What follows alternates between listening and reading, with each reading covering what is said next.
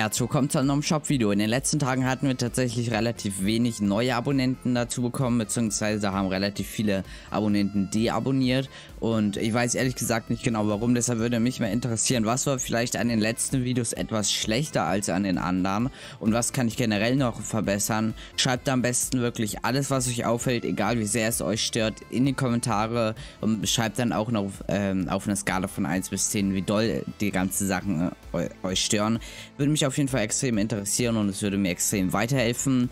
Und die ganzen Astronomical Events sind jetzt auch vorbei. Das heißt, wir können jetzt durchgehend wieder Creative Mode und so spielen. Gestern war es ja so, dass gefühlt alle drei Stunden dass alles wieder gesperrt wurde, weil Creative Mode immer schon vier Stunden vorher und dann auch immer noch eine Stunde später nicht verfügbar war und gestern immer mit drei Konzerten war das dann eine sehr, sehr lange Zeit alles gesperrt. Deshalb war das gestern so ein bisschen nervig. Ist jetzt aber alles vorbei, das heißt, wir können jetzt wieder durchgehend spielen. Ist auf jeden Fall sehr, sehr nice. Wenn euch Videos hier natürlich auf dem Kanal gefallen, würde ich mich freuen, wenn ihr ein Abo da lasst. Dann verpasst ihr in Zukunft auch keine weiteren Videos mehr. Und ich würde sagen, wir quatschen gar nicht länger drum herum und schauen uns direkt den Item Shop an. Und heute haben wir natürlich immer noch die ganzen Astronomical Sachen.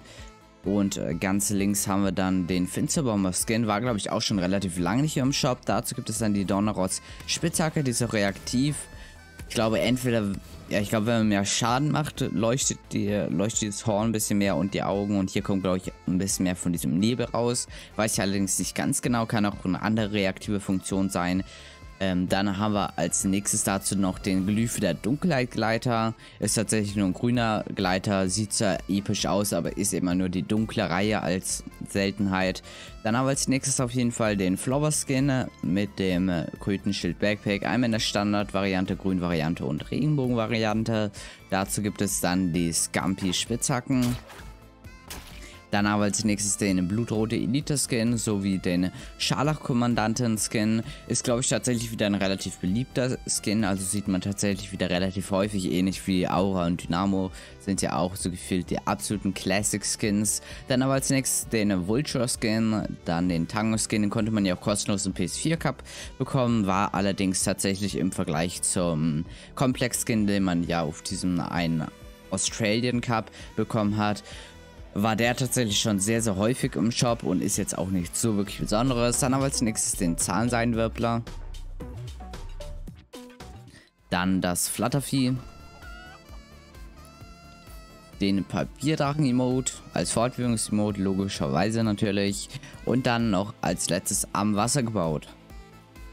Dann haben wir natürlich noch die ganzen Travis Scott Items. Hier kann man entweder alles einfach äh, einzeln kaufen oder man kann natürlich die ganzen Sets hier kaufen. Da wir einmal das Astronomical Paket mit dem Travis Scott Skin in der Standard und in der T3500 Variante.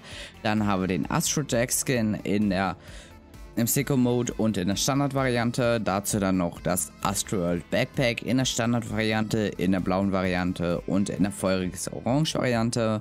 Und dann haben wir noch als zweites das Astronomical Ausrüstungspaket. Hier einmal mit der Diamond Jack Spitzhacke, der Goosebumps Lackierung und dem Headbanger Emote. Das war dann auf jeden Fall, war dann auf jeden Fall soweit der Shop. Ich glaube, die werden auch morgen aus dem Shop rausgehen, glaube ich. Ich glaube, die sollten bis zum 26. drin sein und heute ist ja der 26. Da weiß ich allerdings nicht ganz genau. Auf jeden Fall denke ich mal, heute oder morgen sollte das wieder rausgehen. Und ähm, ich hoffe, euch hat dieses Video natürlich gefallen und ich hoffe, wir sehen uns dann im nächsten Video wieder. Bis dahin, ciao.